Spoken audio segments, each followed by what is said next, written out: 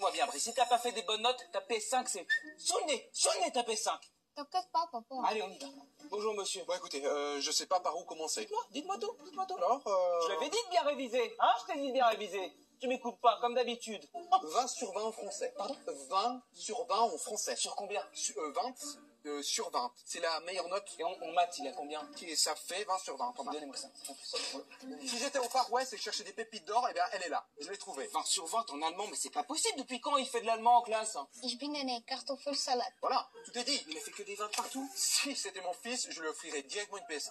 C'est possible ça. Voilà. En sport, il a fait combien en sport? Mon sport, bah voilà. Bah voilà, 19.5. Ah Tout le monde le peuple? Ah, ça y est Les mauvaises notes commencent à sortir quand on creuse un peu.